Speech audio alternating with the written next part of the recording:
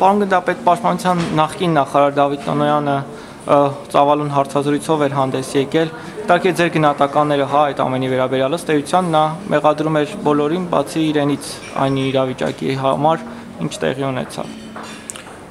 Դավիթ Տոնոյանը այդ հարցազրույցով ինքնապաշտպանական քաղաքականություն սկսեց իր անձը փրկելու համար, որովհետև եթե դուք շատ կարդացել եք, հիմնականում նա ասաց, որ բանակի արձիականացումը փոխվել է 19 թվականից դա է Նիկոլ Փաշինյանի իշխանությունը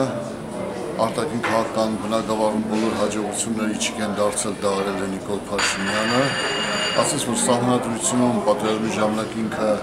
բանակի հետ ոչ մի առողջություն չունի միայն ապահովում է բանակի կիրառումը եւ հրամանատարություն Նիկոլ Փաշինյանն է անում եւ ասես որ սահմանադրության ես այստեղ ոչինչ չունեմ անելու եւ նա հասկացրեց որ ամեն ինչ արել է Նիկոլ Փաշինյանը եւ Նիկոլ Փաշինյանը մեր ազգին տալու պարտության։ Գիտեք, երբ Նիկոլ Փաշինյանի ենթակա ինֆորմացիոն տիրույթում սկսում եմ Դավիթ Տոնոյանի տարբեր գործակների մասին ինֆորմացիաներ տալ եւ եւ հնչում են արդեն որ 2.5 տարիների ընթացքում Դավիթ Տոնոյանի օրոք հասկայական փողեր են մսխվել պաշտպանության նախարարությունում, որովհետեւ եթե ինֆորմացիոն դաշտում դա կա, դա օգտագործվում է մի օր դա լինելու է։ Դավիթ Տրոյանն իրավունք ունի հայտարարելու, որ դա մեղավոր Նիկոլ Փաշինյանը եւ իր Կալիգուլայի ձիերն են, այսինքն իշխանության բոլոր ներկայացուցիչները, որոնք ձիու կարգավիճակ ունեն, ոչ մի ավելի, այսինքն նրանք էական ազդեցություն չունեն։ Նմաններին ասում են հավանական կայսր Կալիգուլայի ձիը, ձի, որովհետեւ սենատորեր դարձել ձին։ Եվ Տոնոյանը հայտարարեց, որ պատմությունը դեռ իր գնահատականը կտա, կստացվեն հանձնաժողովներ եւ մեղավորները կպարզվեն։ Այստեղ իհարկե դա իր գնահատականն է, չնայած մեղքի բաժնի մեծ մասը պաշտպանության նախարարությունն է, որովհետև եթե մենք կարդում ենք այդ նույն համանadrությանը, որին որի վրա հենվում է Դավիթ Տոնոյանը, այս համանadrության մեջ հաշված հստակ նշված է, որ պաշտպանական քաղաքականությունը եւ ազգային անվտանգության պաշտպանողության բաղադրիչը կազմակերպվում է, պլանավորվում է եւ իրականացվում է երեք իրավական սուբյեկտների կողմից՝ վարչապետ, կառավարություն, անվտանգության խորհուրդ եւ պաշտպանության նախարար գլխավոր շտաբի պետը այդ այդտեղ պատերազմի դեպքում կիրառում է զինված ուժերը, որը պաշտպանական քաղաքականության ընթացքում մարտունակության եւ մարտական պատրաստության ու պատրաստականության բարձր աստիճան է ունենում հենց այդ երեք սուբյեկտների կողմից։ Եթե այդ երեք սուբյեկտները բանակը հասցնում են ոչ մարտունակ եւ ոչ պաշտպանունակ վիճակի, ապա կիրառումը բնականաբար լինում է թերի։ Այնպես որ իր մեղավորությունը շատ մեծ է, սակայն Դավիթ Տոնյանը անցել է պաշտպանական գործընթացի կազմակերպման, որպեսզի իր քաշին փրկի հետագա պատասխաններից, որովհետև ինքը լինելով շատ ինֆորմացված եւ շատ փորձառու գործիչ, ինքը գիտի, որ արդեն օղակը սեղմում է այս իշխանության շուրջ, որ ժողովրդի լոթարգիական քունը գարնանը եւ գործընթացները կսկսվեն ավելի լուրջ եւ Նիկոլ Փաշինյանը այսօր արդեն հենարան չունի ոչ հասարակության մեջ, ոչ ժողովրդի գիտակցության մեջ, նա պետք է գնա եւ ինքը նաեւ ինֆորմացված որ Նիկոլ Փաշինյանը տենդակին Ռուսաստանի տալու Ղարաբաղի փոքրիկ հատվածը ռուսական հովանավորություն է ձեռք բերում եւ ինչպես մամուլում նշած նշվեց որ 2.5 միլիարդ ռուբլով ռուսական ռուբլով դա մի քանի համարյա մոտ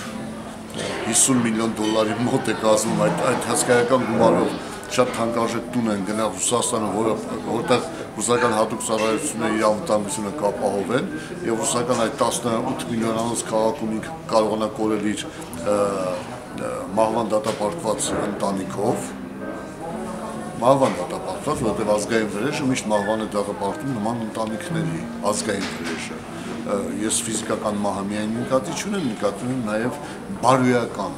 ազգային բարոյական մահը։ Մահվան դատապարտված իր ընտանիքի քրկության համար եւ Տոնյանը տեսնելով որ Նիկոլ Փաշինյանը արդեն հարթում է իր նահանջի եւ փախստի ճանապարհները, չի ցանկանում ապագայում պատասխան տալ եւ այսօր արդեն մարտահրավեր է ներդրում Նիկոլ Փաշինյանին եւ ինֆորմացիա է տալիս հասարակությանը, փորձելով ապացուցել իր անմեղությունը եւ մեղավորությունը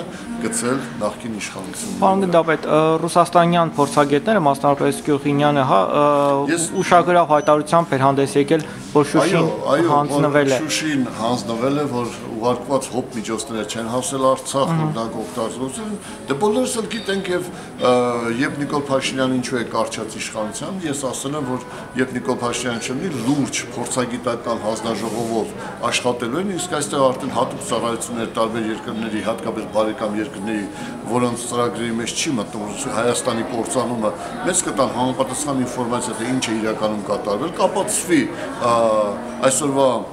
սորոսական վիճվածքների եւ օտարերկրյա թուրք գործակալների դավաճանական ամբողջ քաղաքականության ամբողջ ամբողջ էությունն ու քայլերը եւ այդ ժամանակ նրանք կդատապարտվեն իրավական արդեն դաշտում, իսկ ազգային վիճակության դաշտում, թե ինչ կլինի, դա արդեն սարսափելի է, սարսափում է անգամ մտածել թե ինչ է լինելու, բայց այն որ օտարերկրյա պետություններ ունեն հսկայական տեղեկույթ դավաճանության վերաբերյալ դա արդեն կամանց կամանց մատուցվում է մեր հասարակության, որպես հասարակության գիտակցությունը լինի։ Ինչու եք դուք Ուրդինյանի միայն ելույթը, Սալավեվի ելույթը, Բաղդասարովի ելույթը, Գերրի նախկին գնդապետների ելույթները, որոնք փորձում են հայ ժողովրդին արտացնել եւ փորձում են հայ ժողովրդի գիտակցությանը հասցնել այն ամենը, ինչ խորքային դավաճանություն է տեղի ունեցել եւ դա ինձ թվում է կտա իր պատուղները եւ իշխանությունից հետո Նիկոլ Փաշինյանի իշխանությունից հետո մենք ունենանք ուղղակի իրավական եւ տեղեկատվական հնարավորություն այս ազգակործան թուրքամով եւ թուրքի վաճառված այս իշխանությանը պատասխանատվության կանչել եւ կկանչի։ Օրեր անց նշելու ենք հայոց բանակի կազմավորման ամյակը, հա։ Ես տարի ծառայել եմ հայոց բանակում 17 կառավարական եւ գերատեսչական պարգևների մեդալների իշխանշանների ասպետ եմ, բայց առաջին անգամ կամաչեմ հայտնել հակնել գնդապետական տոնական համազգեստը շկանշաններով, որովհետև ստորացուցիչ է լինել խայտարակ պարտության եւ կապիտուլյացիայի ենթարկված երկրի ու բանակի գնդապետ։ Այսօր բանակը ի վիճակի է Այսօր բանակը հասցրել են կոնֆուզային կազմակերպման այնպիսի վիճակում, որ այսօրվա մեր բանակը ցավոք սրտի մարտունակ չէ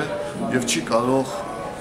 արժանի հակարված տալ այն մարտ, մարտահրավերներին, որի առաջ կանգնած է Հայաստանի Հանրապետությունը, մեր պետականությունը եւ մեր ազգային անվտանգությունը, ցավոք սրտի։ Եվ եթե դուք կասկածում եք իմ ասածների համար, գնացեք մեքենայով Ղափան հետ, կհետեկեք, դուք ամենտեղ կտեսնեք ադրբեջանական բանակի բանակը,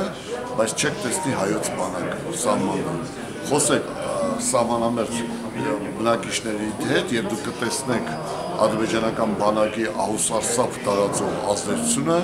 եւ կտեսնեք հայոց բանակի զրոյական, բացասական եւ բացակա վիճակը։ Եվ դուք կտեսնեք, որ բանակը այսօր թողնված է նիկոլական ճղճին բորինների վերջին լեշային հոշոտման։ Շնորհակալ եմ շատ։